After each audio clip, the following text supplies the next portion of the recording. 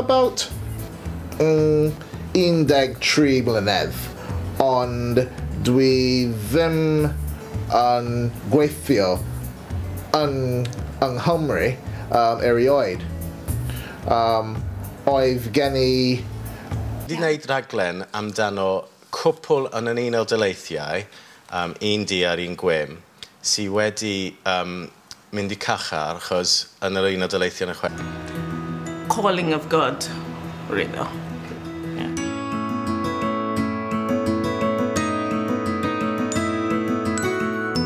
cyn i ni um, agor y caffi, doedd na ddim pres o gwbl. So, um, roedd rhaid i mi ddeud, mae yna miracle bach uh, yeah, um, e, gael caffi uh, um, yma am Benny groes. Yeah.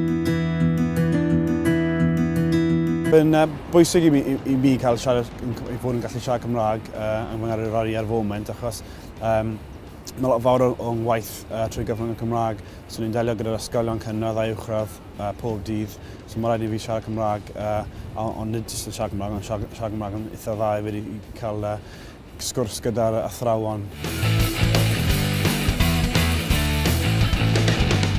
Fi'n teulu defnyddio lot fawr o uh, wasanaethau um, trwy gyfrwng Cymraeg. Um, pob tro mae ma, fi'n fi mas i'r banc i ola arian mas, um, fi'n dewis e y bwtyn Cymraeg, a hefyd pan fi'n Tesco, fi'n gwneud yr un peth dewis e y bwtyn Cymraeg. So fi'n eitha, eitha dda y ffordd ni.